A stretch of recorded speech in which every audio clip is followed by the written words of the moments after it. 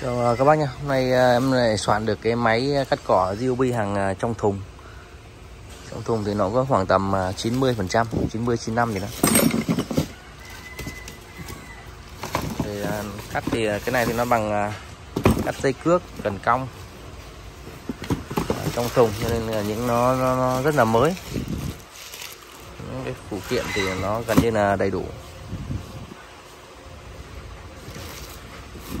Là cái ờ, hộp của nó đây.